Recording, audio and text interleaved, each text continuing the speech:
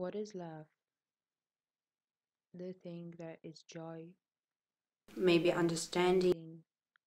or just a trust? Fallacy. That is a drug. The more you dive into this shit, the harder it will be to exit. Dependence.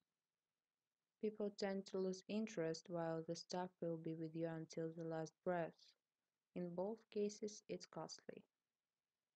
You will give all your money, nervous, and strange, if only you receive the dose of phenylethylamine that you need.